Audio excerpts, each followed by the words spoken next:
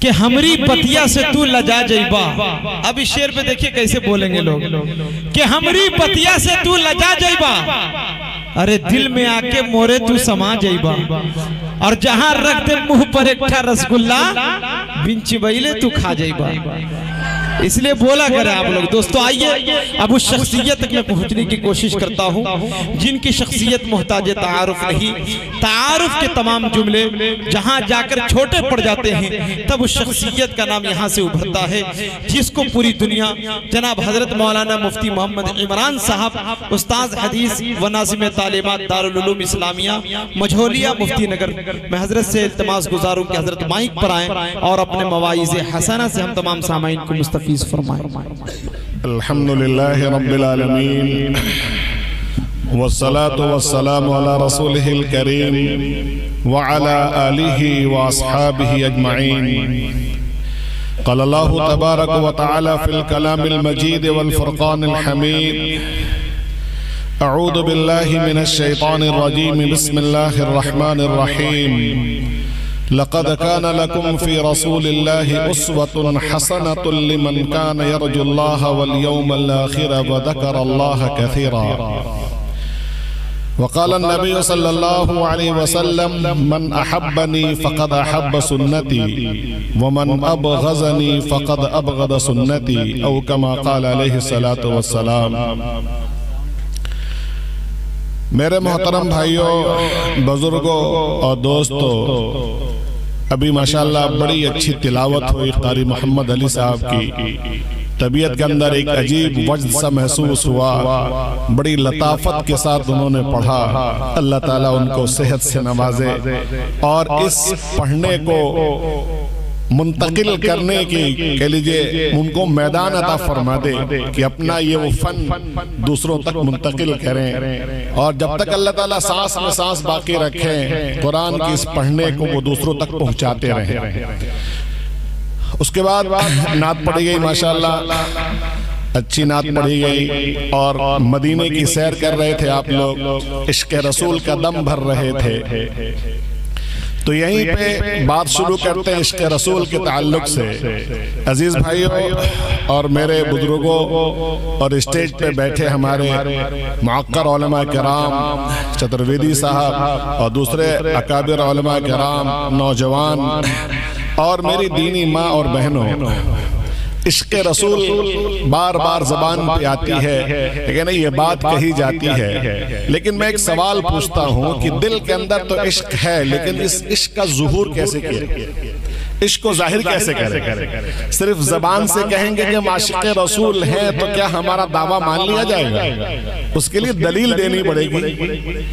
ہمارے دل کے اندر حضور سے محبت ہے تو ہمیں اب کون سا عمل کرنا ہے جو دکھ کر آئے کہ ہم حضور سے محبت کرنے والے ہیں؟ ورنہ صرف زبان سے کہتے رہیں کہ ہمیں حضور سے محبت ہے محبت ہے محبت ہے اور ایک کام بھی آپ صلی اللہ علیہ وسلم کی خوشی والا ہم کر کے نہ دیں تو ہمارا یہ دعویٰ جھوٹا ہوگا۔ ابھی میں نے جو حدیث پڑھی اللہ کے رسول صلی اللہ علیہ وسلم نے اشارت فرمایا جو مجھ سے محبت کرے گا وہ میری سنت سے محبت کرے گا۔ سنت یعنی آپ کا طریقہ۔ اور جو مجھ سے بغض رکھے گا وہ میرے طریقے سے بغض رکھے گا۔ اور میرے سنت سے بغض رکھے گا۔ تو ہمیں صرف دعویٰ پیش نہیں کرنا ہے بلکہ اپنے دعوے پہ دلیل بھی پیش کرنا ہے کہ معاشق رسول ہیں ہمارے عشق کا یہ دعویٰ صرف کھوکھلا نہیں بلکہ دلیل ہے۔ بات سمجھ میں آئی؟ میں نے جو آیت پڑھی قرآن کی اس کا تو ترجمہ ہے اللہ تعالیٰ ہمارے سامنے ایک نمونہ رکھ کر سجا کے سوار کے سب کچھ بنا کے اللہ نے ہمیں ایک نمونہ دیا ہے۔ اور ارشاد فرمایا لَقَدْ كَانَ لَكُمْ فِي رَسُولِ اللَّهِ تمہارے لیے اللہ کے رسول صلی اللہ علیہ وسلم کے اندر بہترین نمونہ ہے۔ کس کے لیے؟ لمن کان یرج اللہ جو اللہ سے ملنے کے امید لگائے بیٹھے ہیں والیوم الاخر اور قیامت کے دن کا یقین رکھتے ہیں اور کثرت سے اللہ کو یاد کرتے ہیں۔ ان کے لیے اللہ کے رسول صلی اللہ علیہ وسلم کی زندگی میں بہترین نمونہ ہے اسوہ ہے۔ میرے عزیز بھائیو ایک بات یہی عرض کرتا چلوں۔ انسانی زندگی میں انسانوں پر جتنے قسم کی مسائب آ سکتے ہیں پریشانیاں آ سکتی ہیں حالات آ سکتے ہیں جتنے بھی انسانی زندگی کے مسائل آ سکتے ہیں اللہ نے اپنے رسول کے تیئیس سالہ زندگی کے اندر نہیں؟ وہ تمام گئے کہ جو نبوی زندگی ہے اور اس سے پہلے کی زندگی کے اندر بھی تقریباً وہ تمام مسائل اور تمام پریشانیاں وہ تمام حالات ڈال کر گزار دیے ہیں تاکہ ہم سب کے لیے ہر حال میں نمونہ میسر ہو جائے۔ ہر حال میں کیا ہو جائے؟ نمونہ میسر ہو کہ جب یہ پریشانی آئی تو حضور نے کیا کیا؟ جب یہ مصیبت آئی آپ صلی اللہ علیہ وسلم نے کیا؟ کیا؟ جب ایسے حالات پیدا ہوئے تو پھر آپ نے کیا کیا؟ اس لیے اللہ نے من جانب اللہ کو کہ تے اللہ کے رسول کے زندگی پر تمام وہ اتار چڑھاؤ تمام وہ حالات آتے چلے گئے۔ لیکن نہیں جو ہر انسان کو کسی بھی طرح پیش آ سکتے ہیں۔ اس حال میں رہ کر آپ نے جو سب سے بڑا کام کیا میرے عزیز بھائیوں وہ تھا کہ آپ نے افراد تیار کیے۔ ایک پیغام ہوا کرتا ہے آپ حضرات کو میں دینے کے لیے خاص طور پہ آتا ہوں کہ افراد سازی کا افراد آپ نے تیار کیے۔ آپ نے ایک لاکھ چوبیس ہزار صحابہ کرام کی تربیت کی انہیں سکھایا پڑھایا بتایا سمجھایا اور کر کے دکھایا۔ اور پھر آپ کی دنیا سے تشریف لے جانے کے بعد وہ ایک لاکھ چوبیس ہزار صحابہ کرام نے پورے دنیا کے اندر دین پھیلایا کہ نہیں پھیلایا اور اپنے طریقے سے سب کو سمجھایا کہ نہیں سمجھایا؟ میرے عزیز بھائیو تو یہ ہے کار نبوی۔ نہیں آپ نے بہت سارے کام فرمائے۔ اس میں سے جو کام ہمیں زیادہ طور پہ توجہ کے لائق دکھتا ہے۔ نہیں سارے کام تو من جانب اللہ کو کہ اللہ کی طرف سے تفویض تھے۔ لیکن ان سب کاموں میں جو نمایاں دکھتا ہے وہ ہے افراد سازی کا۔ ہے کہ نہیں؟ افراد سازی یعنی افراد کو اچھا بنانا ان کو تعلیم دینا ان کی تربیت کرنا ان کا تذکیہ کرنا ان کو نہیں جہالت سے نکال کر علم کو روشنی میں لے کر آنا، گمراہی سے نکال کر، راہ ہدایت بلا کے کھڑا کرنا، جہنم کے دہانے سے کمر پکڑ کے، گھسیٹ کے لا کے، جنت کے دروازے پہ چھوڑ دینا، یہ آپ کا نبوی مشن کہ انسانیت گمراہی کے گار میں گری پڑی ہے اوندھی پڑی ہے۔ آپ صلی اللہ علیہ وسلم ان کی کمر پکڑ پکڑ کے لے کر آتے ہیں اور شاہ راہ پہ ان کو چلاتے ہیں اور اللہ سے دعائیں کرتے ہیں۔ تو میرے عزیز بھائیوں سب سے جو بڑا کام آپ وسلم کی زندگی کے اندر دکھتا ہے جو نمایاں دکھتا ہے وہ ہے ہمیں افراد سازی کا۔ یعنی افراد بنانا لوگ کو بنانا ان کو تعلیم دینا تربیت دینا۔ آپ سے میں خاص طور پہ ایک بات کہوں گا کہ ہماری زندگیوں کے اندر نمائش زیادہ ہو گئی اور کام کم ہو گیا۔ نمائش زیادہ ہو گئی کام کم ہو گیا۔ نمائش اللہ کو بھی پسند نہیں اور اللہ کے رسول نے نمائش کی بھی نہیں۔ مثال کے طور پر تعلیم کا مسئلہ ہے۔ ہم ابھی قرآن سنتے ہیں وشت میں آ جاتے ہیں۔ ہر ایک کی طبیعت چاہتی ہے کہ میرا بچہ بھی حافظ قرآن ہوتا۔ بچہ بھی یہ خواہش کرتا ہے کہ میں بھی حافظ قرآن ہوتا تو آج بیٹھ کے قرآن پڑھتا۔ لیکن اس چیز میں رکاوٹ کیا جاتی؟ ہے وہی نا نمائش کہ لوگ کہیں گے کہ تو مدرسے میں پڑھتا ہے غریب مسکین۔ لیکن نہیں کہیں اس کو پڑھنے وڑھنے کی فیس اس نہیں ہے اللہ مدرسے میں ڈال دیا گیا۔ ایک تعلیمی انقلاب لانا ہے میرے عزیز بھائیو۔ ہمارے سامنے وہ نسل اسکولوں سے کالجوں سے پڑھ کر آ چکی ہے۔ اب ان کا جو دنیا کو فائدہ پہنچانے کا جو ریشو ہمیں دکھ رہا ہے ہم دیکھ رہے ہیں کہ یہ نسل کتنی کامیابی کے ساتھ انسانوں کو فائدہ پہنچا رہی ہے۔ یا صرف اپنے پیٹ کا فائدہ پہنچانے والی ایک قوم پیدا ہوئی ہے لہذا تو تعلیم تعلیمی نصاب ہے جو ڈیزائن کیا ہے لوگوں نے، وہ تعلیمی نصاب کے اندر کچھ تبدیلی چاہتی ہے جو ہمارے بچے وہ تعلیم حاصل کریں۔ لیکن نہیں؟ تو وہ کہ دیندار ہوں اخلاق مند ہوں اور انسانوں کو کامیاب کر لیجیے ہم کنار کرانے والے ہوں اور ان کے ترقی کے خواہاں ہوں۔ رات کو سجدے میں سر رکھ کے ان کے لیے ہدایت مانگتے ہیں۔ ایک شخص اپنے لیے روٹی مانگتا ہے، ایک شخص اپنے لیے مکان مانگتا ہے، ایک دکان مانگتا ہے اور ایک اپنی پیشانی کو چوکھٹ الہی پر رکھ کر لوگوں کے لیے ہدایت مانگتا ہے۔ بتاؤ دونوں میں کتنا فرق ہے بولو فرق ہے نا؟ ایک آدمی اپنے لیے روٹی اپنے لیے مکان اپنے لیے دکان اپنی کامیابی مانگتا ہے۔ اور ایک آدمی اپنی پیشانی کو چوکھٹ الہی پر رکھ کر اللہ سے رو رو کے لوگوں کے لیے ہدایت مانگتا ہے۔ ان کی کامیابی مانگتا ہے۔ تو میرے بھائیو دونوں فرق ہوگا نا؟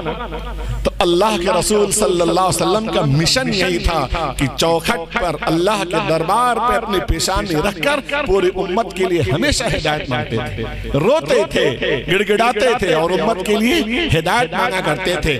ہم بھی اسی نبی کی امت ہے تو ہمارے دل کے اندر وہ درد نہیں رہا۔ وہ درد ہمیں کہہ لیجیے بے چین نہیں کرتا ہمیں پریشان نہیں کرتا کہ ہمارے سامنے لوگ جہنم میں جانے والے بنتے ہیں اور ہم پریشان نہیں ہوتے مطمئن ہو کے بیٹھے رہتے ہیں۔ میرے عزیز بھائیو تعلیم کے تعلق سے تھوڑی سی بات آپ کے حضرات خدمت ناز کرنی ہے۔ یہ تعلیم کے تعلق سے بھی یہ کہہ لیجیے مشورہ ہے کہہ لیجیے جلسہ ہے۔ تعلیم کے دو دنیا کے اندر ہم اگر تقسیم کر دیں تو دو تعلیم ہے جس کو ہم دینی تعلیم کہتے ہیں دنیاوی تعلیم کہتے ہیں۔ میں اس تقسیم کو نہیں کہتا میں کہتا ہوں کہ ایک تعلیم وہ ہے جس کو اللہ نے براہ راست اپنے نبی کو پڑھایا۔ اللہ تعالیٰ پڑھانے والا اور پڑھنے والا کون؟ اللہ کے نبی۔ آپ بھی سن لیں، حضرات علماء کرام موجود ہیں، ان کے سامنے بات پیش کرتا ہوں کہ جتنے بھی دنیا میں انبیاء کرام آئے ہیں، وہ دنیا میں کسی سے نہیں پڑھتے، ان کو براہ راست اللہ پڑھاتا ہے۔ بات سمجھ آئی؟ انبیاء کرام کون پڑھاتا ہے عزیز بچوں؟ اللہ پڑھاتا ہے ان کی تربیت کون کرتا ہے؟ اللہ کرتا ہے۔ ان کو کام کون سکھاتا ہے؟ اللہ سکھاتا ہے۔ اور اس کے بعد پھر اللہ ہی تعالیٰ ان کو ذمہ داری دیتا ہے کہ اب جو چیز میں نے آپ کو سکھائی۔ اور جو باتیں میں نے آپ کو بتائی یہ باتیں آپ لوگوں کو زبان سے بھی کہیے اور کر کے بھی دکھائی تو گویا کہ پڑھایا بھی اللہ نے اور ان کا اپارٹمنٹ بھی کیا اللہ نے لوگوں کو بتانے کے لیے۔ تو ایک تعلیم کا سلسلہ یہ ہوا کہ براہ راست اللہ نے سکھایا اور سیکھے اللہ کے نبی نے۔ اور پھر وہ سلسلہ چلتا ہوا ہے کہ نہیں ہم تک پہنچا ہے۔ تو ایک وہ علم ہوا جو براہ راست اللہ پڑھانے والا نبی پڑھنے والے۔ اور دوسرے جو علوم ہے ہے جن کو علوم کہا جائے اگر، تو وہ کیا ہے؟ تو وہ انسانی تجربات ہے انسانی مشاہدات ہے انسان کی دماغ کی وہ کوششیں ہیں، کاوشیں ہیں، کارآمد وہ بھی ہیں۔ انسانوں نے وہ علوم ایجاد کیے اور انسانوں نے ہی پڑھائے اور پھر انسانوں نے ہی ان کا انتخاب کیا دوسرے انسانوں کو پڑھانے کے لیے۔ تو دونوں علوم میں فرق ہوگا نا؟ دونوں علوم میں فرق ہوگا نا عزیز بھائیو؟ دونوں علوم میں فرق اتنا ہے اس کو سمجھیے آپ کہ دنیاوی علوم انسان کے ہاتھوں کو ہنرمند بناتے ہیں۔ ذہن کو نہیں فکرمند بناتے ہیں لیکن دل کو نہیں پڑھاتے دل نہیں پڑھتا۔ بات سمجھ رہی میری؟ اللہ نے جو علوم نازل فرمایا قرآن کریم ہے حدیث شریف ہے یہ وہ چیزیں ہیں جو براہ راست دل کو درست کرتی ہیں۔ اور جب انسان کا دل درست ہو جاتا ہے تو اس کے پورے اعمال درست ہو جاتے ہیں۔ آج جو مسئلہ یہی ہے میں آپ کو مثال سے سمجھاؤں گا بات سمجھ میں آئے گی۔ ہم نے کالج پڑھا اسکول پڑھا میڈیکل پڑھا انجینئرنگ پڑھا سب کچھ پڑھا۔ میں اس کا معترف ہوں۔ نہیں ڈاکٹر بنے انجینئر بنے سب کچھ بنے۔ آپ کا ہاتھ ہنرمند ہوا آپ کا ذہن فکرمند ہوا۔ تو ذہنوں کو پڑھا دیا گیا ہاتھوں کو ہنرمند بنا دیا گیا۔ اب آپ کے دل کے اندر یہ خواہش جو ہے جاہلانہ خواہش ہر ایک انسان کی جو جاہلانہ خواہش ہے وہ آپ کی بھی ہے کہ ہمیں زیادہ پیسہ کمانا ہے۔ یہی تو خواہش ہے دل کی تو دل تو جاہل تھا جاہل رہ گیا دل کو نہیں پڑھا پڑھایا گیا۔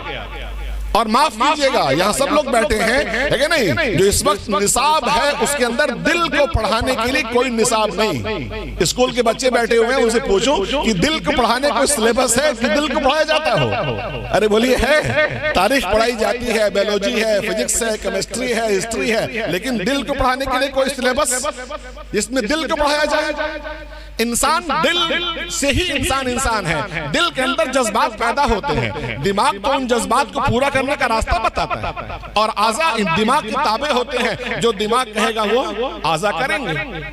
تو مثال کے طور پر ہمارے استاد مثال دیا کرتے تھے کہ ایک صاحب ہے جنہوں نے بڑی محنت کی، کوشش کی، بڑے ڈاکٹر بنے۔ لیکن دل میں اندر اللہ کی تعلیم نہیں آئی، قرآن کی تعلیم نہیں آئی، اخلاق کی تعلیم نہیں آئی، اسلام کی تعلیم نہیں آئی، ایمانیات نہیں آئی۔ تو ان کا دل جاہل تھا، جاہل رہا۔ اب دل کے اندر خواہش ہوتی ہے کہ پیسہ زیادہ کمانا ہے۔ تو ایک ڈاکٹر اپنے حساب سے زیادہ پیسے کمائے گا۔ آپ بھی میڈیکل کی دنیا میں ہے جو ڈاکٹر ان کے معافی کے ساتھ کہتا ہوں، ہم لوگ دکھانے جاتے ہیں، ہم لوگ اسی علاقے کے رہنے والے ہیں بتیا ہے، فلاں ہے ڈاکٹروں کے پاس جانا ہوتا تو انسان ڈرا رہتا ہے کہ نہ جانے کتنا چیک لکھ دیں گے اور کتنی دوائیاں لکھ دیں گے۔ اس کے بعد نہ جانے ہم گھر جانے کا کرایہ بچا پائیں گے نہیں بچا پائیں گے؟ پریشان رہتا ہے۔ ہے نہیں؟ لوگ دعا بھی کرتے ہیں ڈاکٹروں سے بچا اور وکیلوں سے بچا۔ ایسا ہے کہ نہیں؟ تو میرے بھائیوں، یہ میڈیکل پڑھنے والے طلبہ اتنے سال پڑھنے کے بعد جو پڑھنے کے لیے آتے ہیں تو ان سے پہلے ان سے پرومس لی جاتی ہے۔ قسم کھاؤ، تم مریضوں کے ہمدرد رہو گے۔ ان کے ساتھ تم ہمدردی کا معاملہ کرو گے، خیر خائی کرو گے؟ وہ پرومس لے کر آتے تب ان کو سرٹیفکیٹ ملتا ہے علاج کرنے کا۔ لیکن جب آتے ہیں تو جب مریض ان کے پاس جاتا ہے تو مریض کا معائنہ کرتے ہیں کہ ہم اس مریض سے کتنا زیادہ پیسہ نکال سکتے ہیں۔ تو لہذا وہ نکالتے ہیں۔ کیونکہ ان کا دل جاہل ہے وہ دل بتاتا ہے کہ پیسے نکالو۔ تو لہذا ایکس رے میں اتنا خون میں اتنا پیشاب میں اتنا سارے چیک اپ میں اتنے لکھ دیا۔ اگر وہ جانچ کو گئے اس کے بعد وہ دوائیاں آتی ہیں بیچارہ مریض مریض مرض کو دکھانے کے بعد خالی ہاتھ لوٹ کے گھر چلا آتا ہے۔ کل پھر پیسے کا انتظام کرتا ہے تو جا پاتا ہے دوا لے کر آتا ہے۔ ہمارے استاد محترم حضرت مولا عبداللہ حسنی صاحب فرمایا کرتے تھے جاہز یوپی کے اندر ایک علاقہ ہے وہاں کے ڈاکٹر صاحب تھے حکیم صاحب تھے اللہ کے نیک بندے تھے، ایمان اخلاق پڑھے ہوئے تھے، سیکھے ہوئے تھے۔ بہت دور دور سے لوگ ان کے پاس علاج کے لیے آتے تھے۔ تو ان کا معمول کیا تھا؟ جب لوگ دور سے آتے تھے سب سے پہلے وہ انہیں کھانا کھلاتے تھے۔ کھانا کھلانے کے بعد وہ مریض کا معائنہ کرتے تھے۔ ان کو اگر محسوس ہو گیا کہ یہ مریض غریب ہے نہیں؟ تو اس کا علاج کرتے تھے، دوا فری میں دیتے تھے اور جاہز سے اس کے گھر تک آنے جانے کا بس کا کرایہ دیتے تھے۔ کہہ دیتے تھے مریض کو کھانا کھلایا بدو سایا بھوکا ہوگا۔ غریب ہے اس کا تشخیص کیا مرض کا دوا بنایا دوا دیا دوا کے پیسے نہیں لیے فیس نہیں لیے اس کے بعد گھر آنے جانے کرایہ اپنے جیب سے دیا تو مولا کہتے تھے کہ آخر یہ کون سی ڈاکٹر پڑے ہوئے ہیں؟ کہ مریض کو دیکھنے کے بعد ان کا یہ تجربہ ہوتا ہے ان کا یہ کام ہوتا ہے کہ ہم کیسے کیسے اس مریض کو فائدہ پہنچا سکتے ہیں؟ آخر یہ کون سی میڈیکل پڑھے ہوئے ہیں؟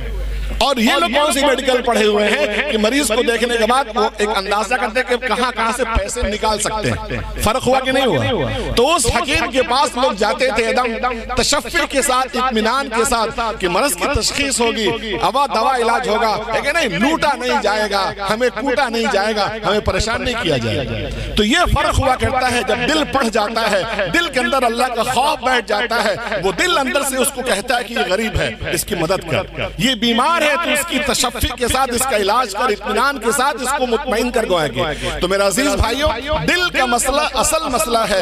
دل کی دنیا اصل دنیا ہے۔ اور اس وقت جو موجودہ نصاب چل رہے ہیں، اس کے اندر دل کو پڑھانے کے لیے کوئی نظم نہیں کیا گیا۔ میرا عزیز بھائیوں، لہذا دل جاہل تھا، جاہل رہ جاتا ہے۔ لہذا وہ انسانوں کو کامیاب کرنے کے لیے اور انسانوں کو فائدہ پہنچانے کی نہیں سوچتا۔ ہمارے استاد مولا یہاں نمانی صاحب فرمایا کرتے تھے، معافی کے ساتھ کہتا ہوں، کبھی ایسا نہ ہو، حادثات ہوتے ہیں، ٹرین کے حادثے ہو جاتے ہیں، ڈبے ٹکرا جاتے ہیں، کافی لوگ زخمی ہوتے ہیں۔ اس وقت جو لوگ آتے ہیں انہیں بچانے کے لیے سب سے پہلے وہ علاقہ سیل ہو جاتا ہے، پولیس والے وہاں جاتے ہیں۔ جانے کے بعد مولانا کہہ رہے تھے، تجربہ جو لوگ گھائل تھے ان کا بتانا یہ ہے کہ جب یہ لوگ جاتے ہیں ڈبوں کے اندر، مریضوں کو مطلب بیمار ہے، کسی کا سر پھوٹا ہے، کسی کی ٹانگ ٹوٹی ہے، کسی کی آنکھ پھوٹی ہے، کسی کا ہاتھ ٹوٹا ہے، کسی ادھر زخم ہے، خون بہ رہا ہے۔ اور یہ لوگ جا کے ان کی جیب ٹٹولتے ہیں، ان کی کلیائی کلائی سے گھڑیاں نوچتے ہیں عورتوں کے زیورات کھینچتے ہیں۔ اور وہ جو اس کا ہاتھ ٹوٹی سر پھوٹا وہ کہہ رہا ہوتا ہے کہ میرے سب زیورات لے لو اور مجھ کو نکال کے اسپتال پہنچا دو۔ تو وہ کہتے ہیں بہت سے لوگوں کو ہم کو دیکھنا ہے۔ تو یہ کون سی پڑھائی پڑھے ہوئے ہیں کہ جو انسانوں کا بہتا ہوا خون دیکھنے کے بعد ان کے جیب میں ہاتھ لا کے پیسے نکال لیتے ہیں ان کی کلائی سے گھڑی نوچ لیتے ہیں عورت کی کان سے ان کی بالیاں کھینچ لیتے ہیں زیور نکال لیتے ہیں اور پھر دوسرے لوگوں کے زیور نکالنے کے لیے آگے بڑھ جاتے ہیں اس کا خون بہتا ہوا چھوڑ دیتے ہیں۔ یہ کون سی پڑھائی ہوئی؟ یہی نہ ہوا کہ دل کے اندر اللہ کا خوف نہیں ہے۔ حالانکہ انہوں نے پوری پڑھائی کی ہے کمپٹیشن فائٹ کیا ہے ٹریننگ کی ہے اور پرومس لینے کے بعد سروس میں آئے ہیں نا۔ ارے بولی بات سمجھ میں نہیں آ رہی؟ تو پھر وہ کون سی چیز اس کے اندر کم رہ گئی کہ وہ بجائے ہمدردی کے؟ یہ ظالمانہ رویہ اختیار کرتے ہیں۔ ارے ہوتا ہے کہ نہیں ہوتا ہے؟ اسکول دیکھیے پہلے اتنے اسکول نہیں تھے اب اتنے اسکول ہو گئے نا۔ سرکاری اسکول ٹیچر سب کچھ اتنے ویل ٹرین ٹیچر رکھے جا رہے ہیں۔ رکھے جا رہے کہ نہیں رکھے جا رہے لیکن کیا تعلیم کا معیار اٹھ پا رہا ہے؟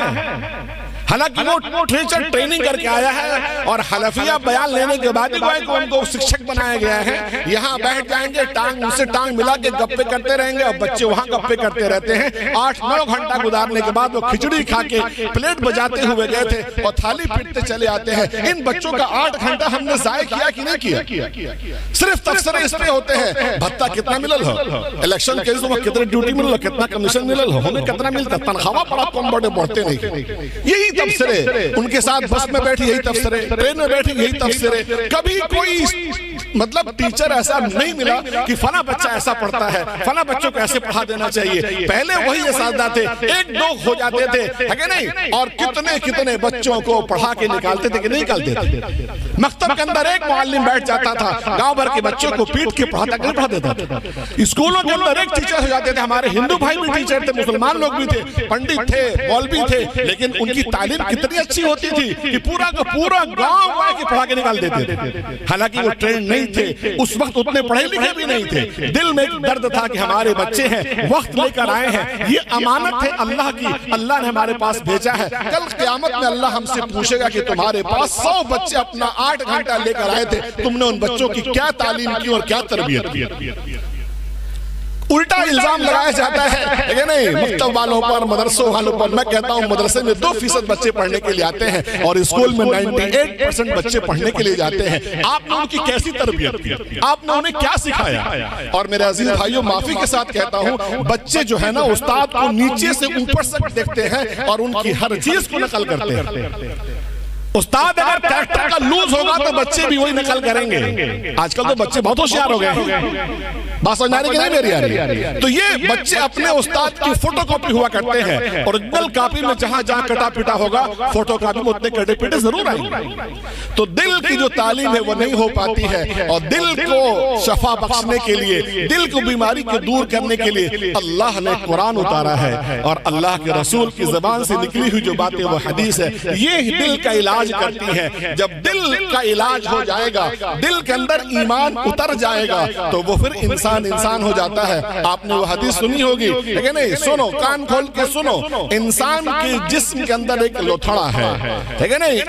اذا صلح صلح الجسد کلو جب وہ درست ہو جائے گا تو انسان کا پورا جسم درست ہو جاتا ہے۔ وَإِذَا فَسَدَتْ، فَسَدَ الْجَسَدُ كُلُّ اور جب وہ بگڑ جاتا ہے تو پورا اعضاء بگڑ جاتے ہیں۔ الا وہی القلب۔ سنو وہ دل ہے وہ دل۔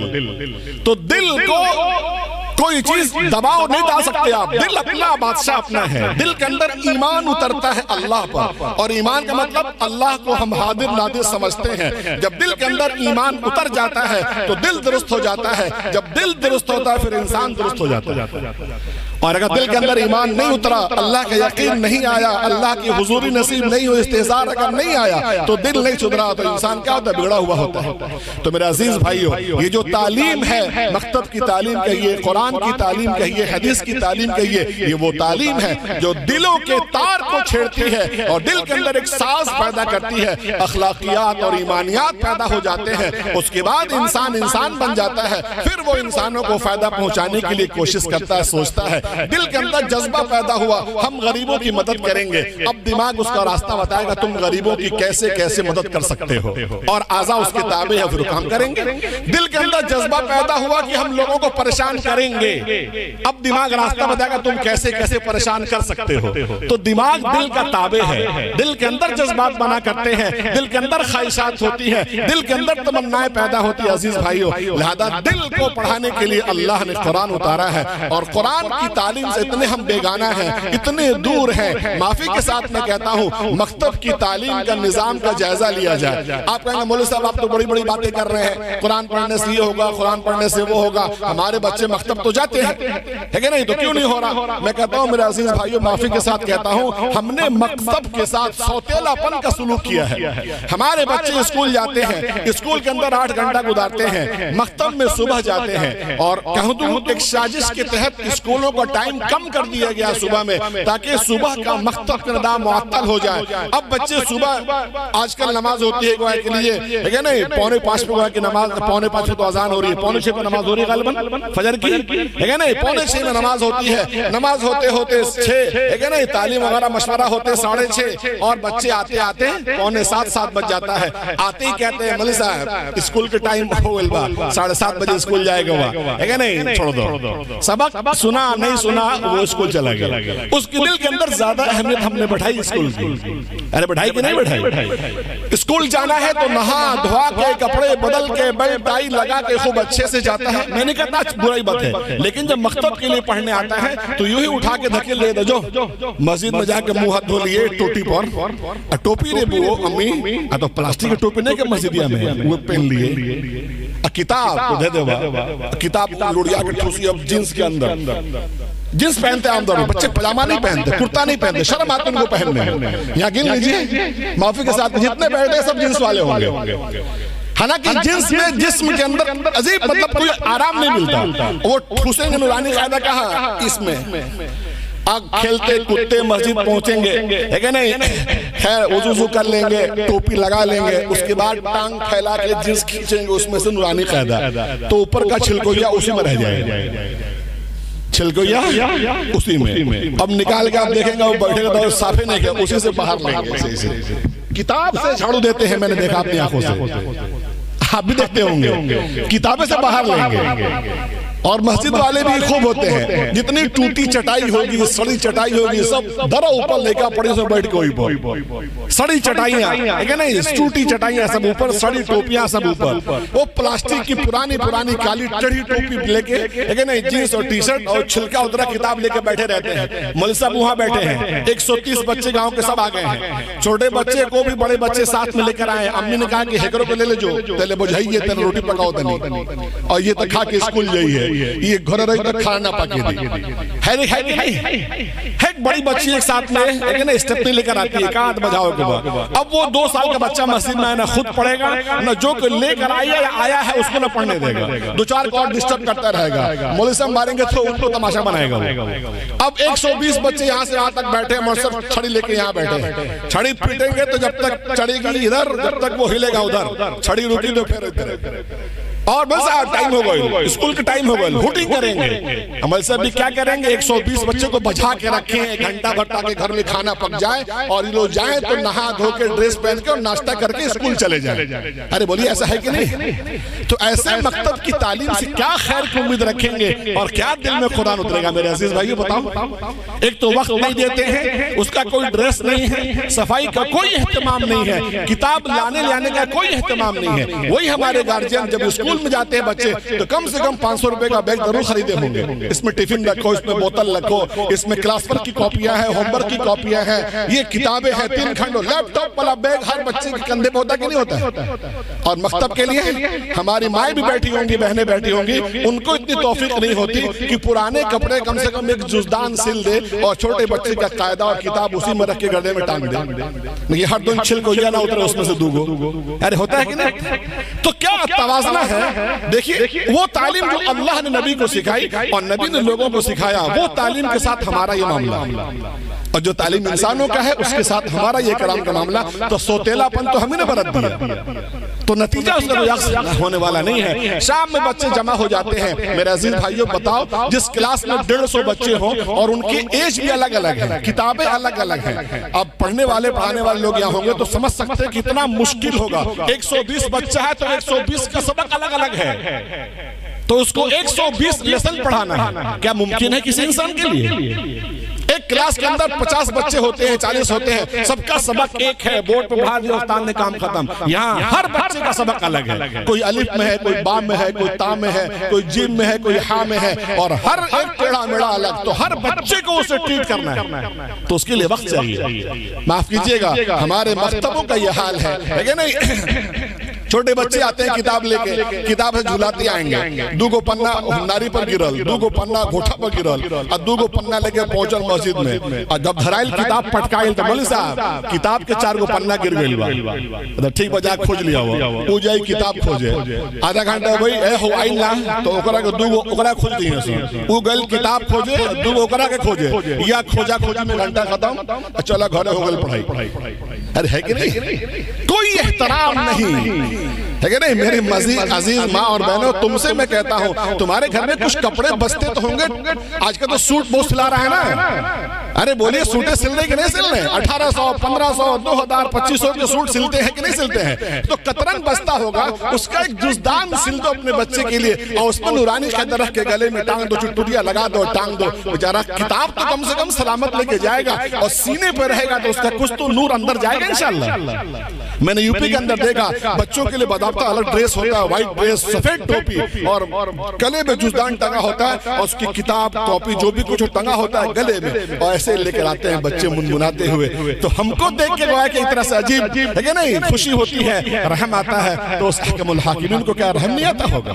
ارے بولو ہے کہ نہیں؟ آپ کے علاقے ہم بھی ہیں۔ ہمارے جو مکتب سے بچے پڑھنے کے لیے جاتے ہیں تو وہ ٹوپی کہاں رکھ کے لاتے ہیں؟ ایک تو پہن کے نہیں آتے ہیں پلاسٹک کی ٹوپی کے بھروسے۔ جن کے پاس ٹوپی ہے بھی وہ جیب میں رکھے تو شرم آتی ٹوپی پ پہن کے کہتا رہے جائیں ہمارے کہا لوگ مولوی صاحب کو دی ہے کہ نہیں بولو جی صاحب تو کیا ٹوپی پہننا شرم کی بات ہے بولو تو جس کو اپنے تہذیب سے شرم ہو جس کو حضور کی لباس پہننے سے شرم آتی ہو وہ کتنا عاشق رسول کا دعویٰ کرے یہ سب کھوکلے ہیں اس سے کوئی فائدہ تھوڑی ہو نہ حضور کی چہرے سے محبت ہے نہ لباس سے محبت ہے نہ ان کے وضع قطع سے محبت ہے تو کس چیز کا عشق ہے ارے بولیے کس چیز کا عشق ہے کسی چیز کا عشق ہے تو معاف کیجیے گا۔ تو یہ ہمیں تعلیم کا طریقہ بدلنا ہوگا۔ ہمارے امام صاحب تنہا ہیں بچے زیادہ ہیں تو ہمیں اب الگ سے ان کے لیے معلمین کا انتظام کرنا ہوگا۔ ایک استاد پر بیس بچے ہوں بس۔ زیادہ نہیں بیس بچے۔ اس میں چھانٹ کی بیش بنا لیا جائے گا۔ نوانی قیدہ والے تختی نمبر ایک والے الگ دو والے الگ تین والے الگ۔ اس طرح بیش بنا لیا جائے گا۔ اور اب کہیں گے کہ پیسہ کہاں سے آئی؟ ہم لوگ تو فری فائی والے ہیں بیسی دیسی بات۔ امام صاحب کی تنخواہ یہاں تو پتا نہیں ہم یہ علاقے مجھولیا کے پاس کے ہیں. ہے کہ نہیں? جو تار دو لوگ ہوتے ہیں وصول کرنے والے جب مہینہ پورا ہوتا ہے ایک تاریخ سے وصولی شروع ہوتی ہے وصولتے وصولتے پچیس تاریخ تو ہوئی جاتی ہے۔ اور وصولنے والے کی چپل بچاری کھیا جاتی ہے؟ اے جانا ہے؟ برا ہاتھ خالی دے کے بیہاں نہیں لے جائے دوڑاتے دوڑاتے دوڑاتے تنخواہ دیتے ہیں۔ اور اسی تنخواہ کو ہم سمجھتے ہیں کہ امام صاحب آزان بھی دیں گے مسجد کی صفائی بھی کریں گے پانچوں وقت نماز بھی پڑھائیں گے اور ہمارے بچوں کو شاندار قرآن پڑھی پڑھائیں گے۔ خاری محمد علی صاحب ایسا ہو جاتا ہو سکتا ہے؟ ارے بولے ممکن ہے لوگ تفسرہ کرتے ہیں۔ ہمارے امام صاحب بڑی نیمن ہو کہے ہو اب نالی ایک دم چکا چکا رکھے ارے تو تو امام کی تعریف ہے بھنگی کی تعریف ہے۔ ارے بولو میرا عزیزو نالی صاف رکھنا اور سپتی صاف رکھنا۔ گاؤں کے بھر کے لوگ اس کے اندر استعمال کریں گے صاف کے کریے امام صاحب۔ ہم نے کہ امام صاحب سپتی بہت صاف رکھ لو نالی میں تو منہ لوگ گلا۔ ارے بے کوفو تو امام کی یہ تعریف ہے کہ سپتی صاف رکھتا ہے اور نالی صاف رکھتا ہے۔ قرآن پڑھانے والے کو اپنے بچے کو جو قرآن پڑھا رہا ہے اس کے ساتھ ہمارا یہ معاملہ ہے تو بچے بھی اس کے ساتھ وہی معاملہ کرتے ہیں۔ دیکھئے گا۔ ملی صاحب لوٹا قائدل بہ جائے۔ اس سے پڑھنا ہے اس کو وہ ایسا بولتا ہے۔ تو اس کے دل کے اندر جب کڑھن ہوگی تکلیف ہوگی خوشی نہیں ہوگی تو کیا اس کے سینے سے قرآن نکل کر آپ کے بچے کے سینے میں جائے گا؟ ارے بولیے جائے گا۔ تو کیا ہم چاہتے ہیں ہمارے بچے قرآن نہ پڑھیں؟ قرآن کی برکت سے مستفید نہ ہوں ہم ہر ایک آدمی چاہتے ہیں ہمارے بچے قرآن پڑھیں حافظ قرآن بنے چاہتے ہیں لیکن جو طریقہ اختیار کرتے ہیں وہ طریقہ ہمارا بالکل مناسب نہیں ہے۔ میرے عزیز بھائیو ہوم ورک لیجیے کچھ کرنے کا طے کیجیے۔ انشاءاللہ اس نظام کو بدلیں گے۔ کیا کریں گے انشاءاللہ؟ اس نظام کو بدلیں گے۔ ہمارے جو بہت عزیز مانے جاتے ہیں دیندار مانے جاتے ہیں وہ بھی اپنے بچوں کو پڑھواتے ہیں صبح شام لیکن معافی کے ساتھ کہتا ہوں جو بچے اسکول کے ساتھ صبح شام ٹیوشن پڑھتے ہیں ان کا قرآن سن لیجیے۔ سو میں سے شاید کوئی ایک بچہ صحیح قرآن پڑھ سکے۔ کم چلاؤ پڑھ لیتا ہے بس۔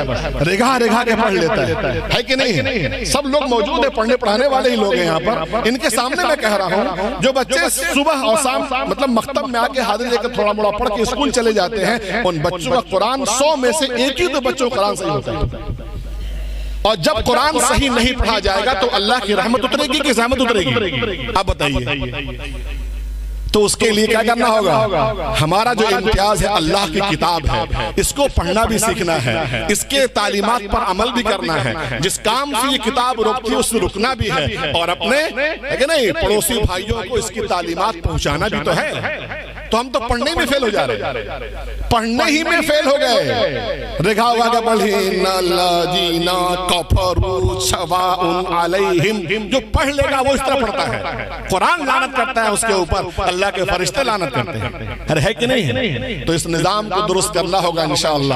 اور ہمیں اپنے تعلیمی ڈھانچے کو بدلنا ہوگا۔ میں ایک بات عرض کرتا ہوں آپ حضرات خدمت میں۔ علماء کرام بیٹھے ہیں، چترویدی صاحب بھی بیٹھے ہیں کہ اب تک جو تعلیم کا نظام ہمارا تھا، ہمارے بچے جب چار سال کے ہوتے ہیں، پانچ سال کے ہوتے ہیں تو ان کو ہم اسکول میں ڈالتے ہیں نرسری میں۔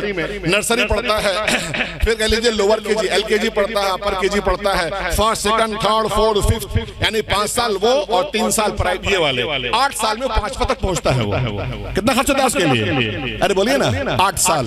اور ساتھ ساتھ میں صبح اور شام مکتب بھی جاتا رہتا ہے۔ اور مکتب کا حال میں نے آپ کے سامنے بیان کر دیا۔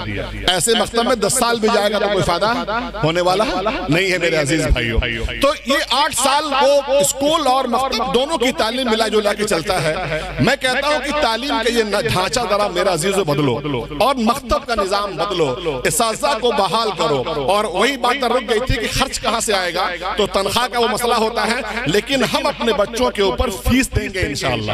پر بچے کو ہم ہے کہ نہیں؟ دو سو روپے تین سو روپے چار سو روپے جو بھی ہو سکے گا ہم ہر بچے پہ فیس دیں گے تاکہ ہمارے بچے کو اچھا قرآن پڑھنا آ جائے ہے کہ نہیں عید میں جو کپڑا سلاتا ہے بچوں کے لیے اس میں ایک مقابلہ ہے۔ میں نے کہا، ظاہر پر ہم خرچ کرتے ہیں۔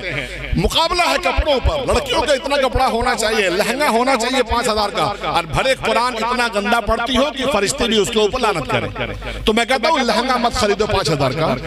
ایک سوٹ خریدو پانچ سو روپے کا اور پینتالیس سو روپے خرچ کر دو کہ اس کو کوئی اچھا قرآن پڑھنا سکھا دے۔ بات سمجھ میں آ رہی ہے میری؟ ارے بات سمجھ میں آ رہی ہے۔ آپ حضرات بیٹھے ہیں عید میں خریدی کرتے ہیں جینز پینٹ ٹی شرٹ ہے کہ نہیں؟ کم سے کم بھائی باجی کے پانچ ہزار کے تو ہمارے کم سے کم چار ہزار کے نا۔ روچے لڑتے ہیں۔ پلوا کے تو چار ہزار کے لائل با لڑ کے لیتے ہیں۔ میں کہتا ہوں کہ کرتا پجامہ سلا لو ہزار روپے کا اور بقیہ تین ہزار روپے ہے کہ نہیں؟ خرچ کر کے اچھا قرآن پڑھنا سیکھ لو۔ ارے ہوگا کہ نہیں ہوگا؟ اچھا قرآن پڑھنا سیکھ لو اچھا قرآن پڑھنا سیکھ لو۔ تو میرا عزیزو میرے گھر کہہ لیجیے میری ماں اور بہنیں بھی بیٹھی ہیں۔ آپ حضرات بھی بیٹھے ہیں۔ ہم جو پوشاک پہ خرچ کر رہے ہیں اس بجٹ کو ہم زیرو پہ لائیں۔ لیکن نہیں بس جسم ڈھاکیں اور اپنے بچے کو اچھا قرآن پڑھنا سکھا دیں۔ ان کے خوراک پہ خرچ کر دیں۔ اس پر عجیب ایک تماشا ہو گیا ہے۔ پوشاک کی وجہ سے سارے گھر والے پریشان ہیں۔ جا کے گھر کے اندر آپ دیکھیے کپڑوں کے بارے میں میں تجزیہ پیش کرتا ہوں اب پہلے عید عید کے موقع پر ایک کپڑا سلاتا تھا۔ اب دو کپڑے، ایک وہ الگ سے آتا ہے، وہ پندرہ گو استر والا، وہ عید کے دن پہننے کے لیے، گھنٹے بھر کے لیے، اور ایک الگ سے ہوتا ہے عام پہننے کے لیے۔ ایسا ہو رہا ہے کہ نہیں ہو رہا؟ ہے عید کے جو بجٹ آپ دیکھ لیجیے گا، اسی فیصد بجٹ خالی کپڑوں میں خرچ ہو جا رہا ہے۔ ٹھیک ہے نا اب بچتے ہیں کہ بچوں خوراک پر خرچ کریں یا ان کی تعلیم پر خرچ کریں؟ لادا وہ فری والے مختم میں جاتا ہے۔ پانچ سال سے پڑھ رہا ہے۔ نوانی قادہ ختم نہیں ہوا قرآن پڑھا تو ٹیڑھا میڑا پڑھا۔ ٹھیک ہے نا سرکاری اسکولوں میں جاتے ہیں وہاں کوئی تعلیم کے خاص نظم نہیں ہے۔ تو ہم نے اپنے بچوں کے خوراک پہ نہ خرچ کر کے پوشاک پہ خرچ کر دیا اور تعلیم پہ نہ خرچ کے ہم نے کہیں اپنے مکانوں اور دکانوں پہ خرچ کر دیا۔ ہمارا بچہ جاہل تھا جاہل رہ گیا۔ ہمارا بچہ جاہل تھا جاہل رہ گیا۔ تو میرا عزیز بھائیو یہ قرآن کی تعلیم آئی ہے۔ حدیث آپ وسلم کی جو تعلیم ہے، یہ دل کو سوارنے کے لیے ہے۔ دل کے اندر ایمانی جذبہ پیدا کرنے کے لیے ہے۔ جب دل بن جائے گا تو وہ چاہے ڈاکٹر ہو، وہ چاہے انجینئر ہو، چاہے وہ پولیس ہو، چاہے وہ کہہ لیجیے دروگا ہو، چاہے وہ ٹھیکیدار ہو، چاہے وہ مزدور ہو، چاہے وہ معلم ہو، چاہے وہ ہیڈ ماسٹر ہو، جہاں رہے گا وہ بچوں کی خیر خائی کرے گا، اپنے ماتحتوں کے بارے میں سوچے گا اور لوگوں کو فائدہ پہنچانے کی سوچے گا انشاءاللہ۔ جس کے دل کے اندر ایمان آ گیا اور اللہ کا خوف آ گیا اب وہ انسان بن گیا اب وہ انسانوں کی فائدے پہنچانے کی سوچے گا انشاءاللہ۔ تو ہم اپنے بچوں کو اس تعلیم سے محروم کر دے رہے ہیں۔ کہ نہیں؟ اسکولوں کے اندر ان کے ذہن کو پڑھا دیا جاتا ہے۔ ان کے ہاتھوں کو ہنرمند بنا دیا جاتا ہے۔ ان کا دل جاہل تھا جاہل رہ جاتا ہے۔ اور دل کے تعلیم کے لیے اللہ نے قرآن اتارا تھا تو اس قرآن کی تعلیم کا ہم نے یہ حشر کیا۔ تو ہو پائے گا کچھ اس سے؟ تو میں عرض کر رہا تھا کہ اپنے بچوں کی تعلیم کا ڈھانچہ بدلا جائے اور ہمارے بچے جب چار سال کے ہوتے پانچ سال کے ہوتے پڑھنے جانا شروع کرتے ہیں اور وہ نرسری ایل کے جی یو کے جی اس کے بعد پانچ سال میں وہ پرائمری تک پہنچتے ہیں۔ میں کہتا ہوں کہ اب تجربہ یوں کرو کہ مکتب کا نظام خوب اچھا کرو، اچھے استاد رکھو۔ کیا رکھو؟ ارے میرے بھائی بولو۔ اچھے استاد رکھو۔ معاف کیجیے گا۔ مسجد تو بڑی شاندار بناتے ہیں، بڑا خرچ کرتے ہیں، لیکن امام کام چلاؤں رکھتے ہیں۔ ارے ہے کہ نہیں ایسا؟ امام کام چلاؤں؟ پانچ ہزار میں نہ ملی کہ نہ وہ تو پانچ ہزار کا تینوں ہزار مل جائے۔ گی مسجد میں خرچ کرنے میں لاکھوں روپے خرچ کریں گے۔ اور امام رکھنے کے لیے سستا سے سستا ڈھونڈیں گے۔ بتاؤ یہ مسجد کی تعمیر کا کام ہوا یا تخریب کا کام ہوا۔ بولیے امام مسجد سے اچھا رکھتے مسجد پھوس کی ہوتی تو وہ اچھا تھا۔ اللہ کے رسول صلی اللہ علیہ وسلم چھپر کے نیچے بیٹھ کے تعلیم دیتے تھے کہ نہیں دیتے تھے؟ ارے بولیے معلم ایک ایک کوالٹی کا ہوگا۔ تو بچے کو پڑھا دے گا۔ چاہے وہ چوکی پر بیٹھے چاہے بینچ پر چاہے زمین پر بیٹھے چاہے درخت کے نیچے بیٹھ جائے۔ معلم کے پاس ہنر نہیں ہے۔ اس کو تخت پر بیٹھاؤ مسیری پر بیٹھاؤ پلنگ بڑھاؤ کیا پڑھائے گا اس کے پاس کوئی دینے کو ہے ہی نہیں۔ تو معافی کے ساتھ میں کرتا ہوں، جتنی شاندار مسجد ہو، اتنا شاندار امام بھی رکھا جائے کہ اس کی تعلیمی لیاقت ہو، حافظ ہو، قاری ہو، عالم ہو، مفتی ہو، انشاءاللہ ہم سب مل کے اس کی تنخواہ دیں گے تاکہ ہمارے بچوں کی وہ تربیت تو کر سکے گا۔ بات سمجھ آ میری؟ تو یہ ہے شاندار۔ مکتب کے اندر معلم کم پڑھ رہے ہم معلم بڑھائیں گے انشاءاللہ۔ بچوں پر ہم فیس لیں گے۔ اور ہم اور ضروریات کم کر کے انشاءاللہ اپنے بچوں کو فیس دے کے قرآن کی تعلیم پر انشاءاللہ ان کو آمادہ کریں گے۔ اور ہمارے بچے شاندار قرآن پڑھیں گے۔ اللہ کی رحمت اترے گی۔ روزی برسے گی۔ انشاءاللہ۔ ہم مر کے یہاں سے جائیں گے یہ بچے قرآن پڑھیں گے تو اس کا ثواب انشاءاللہ قبر کے اندر بھی پہنچے گا انشاءاللہ پہنچے گا۔ بات سمجھ رہی ہے تو ہم اپنے بنیادی طور پر ڈھانچے کو بدلیں۔ اور بچوں کی تعلیم کی شروعات ہم پہلے اللہ کی کتاب سے کریں۔ بچہ پہلے نادرہ پڑھے گا، قرآن شریف کہہ لیجیے پڑھے گا۔ اگر حفظ کے لائق ہوگا تو حفظ کر لے گا۔ اور اگر حفظ نہیں کر سکتا تو ایک آدھ دو پارے حفظ کر کے قرآن مکمل تعلیم حاصل کرے گا۔ اخلاقیات کی، ایمانیات کی تعلیم حاصل کرنے کے بعد اب وہ تین، پانچ سال کے، پانچ، تین، آٹھ سال کے اندر انشاءاللہ وہ آ جائے گا۔ اب اس کو تھوڑا موڑا ٹیوشن پڑھا دیں گے۔ تو چھٹے میں آپ جب لے کے چلیں گے تو دیندار ہوگا، حافظ قرآن ہو چکا ہوگا۔ تو انشاءاللہ ان بچوں سے فائق ہوگا جو بچے نرسری سے پڑھ کر اب تک آئے بات سمجھ آ رہی میری اور اللہ کا یہ وعدہ ہے انا نحن نزلنا ذکر و انا له لحافظون۔ ہم ہی قرآن کو نازل کرنے والے ہیں اور ہم ہی قرآن کی حفاظت کرنے والے ہیں۔ اور آپ دیکھتے ہیں کہ قرآن کی حفاظت اللہ تعالیٰ سینوں سے کراتا ہے۔ تو لہذا جن سینوں میں قرآن ہوگا ہے کہ نہیں؟ ان سینوں کا محافظ بھی اللہ ہوگا۔ تو ہم نہیں چاہتے کہ ہمارا بچہ اللہ کی حفاظت میں آ جائے تو اس کا طریقہ کیا ہوگا؟ ہمارے بچے کی سینے کے اندر قرآن آ جائے۔ بس آئے میری بات عزیزو تم بھی بدلو اور عشق رسول کا دعویٰ صرف زبان سے نہ ہو جسم سے بھی ہو لباس نبی کا ہو چہرہ نبی کا ہو حضور کی سنت سے محبت ہو حضور کے لائے ہوئے قرآن سے محبت ہو اور حضور کے ایک ایک عمل سے محبت ہو۔ تب زبان سے نبی کہیں ہمیں عشق ہے تب بھی ہمارے جسم سے تو ٹپکے گا کہ عاشق رسول۔ بس میری اللہ تعالی ہم سب کو توفیق نصیب فرما دے کہ ہم اس ناحیے سے سوچیں اور اپنے بچوں کو اچھا قرآن پڑھانے کا کوئی نظم کرے انشاءاللہ۔ جو نظم اس وقت ہے، وہ اطمینان بخش نہیں ہے۔ اس سے ہمارے بچے اچھا قرآن نہیں پڑھ پا رہے ہیں۔ انشاءاللہ۔ اور خرچوں کو ہم کاٹیں گے۔ عید میں کپڑے سستے خریدیں گے۔ اور جو خرچے اس کو کم کریں گے۔ لیکن اپنے بچے کے مکتب پہ خرچ کر کے اچھا سے اچھا قاری معلم رکھ کر اپنے بچوں کو اچھا قرآن پڑھائیں گے انشاءاللہ۔ کریں گے انشاءاللہ؟ اللہ تعالی ہم سب کو توفیق نصیب فرما دے۔ وآخر دعوانا الحمدللہ رب العالمین۔